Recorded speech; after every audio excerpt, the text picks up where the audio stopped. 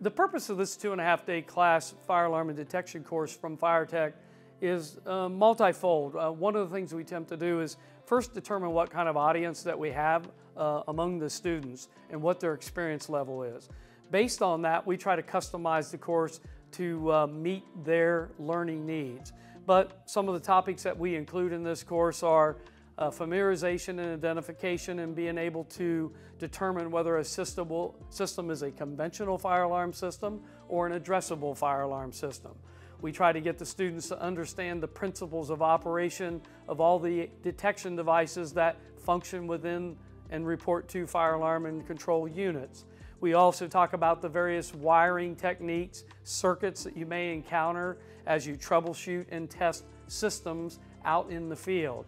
And then the last part of the component is the inspection and testing part, which is to train you to understand the tables, the frequencies at which devices have to be tested and inspected in order to comply with Chapter 14 of NFPA 72.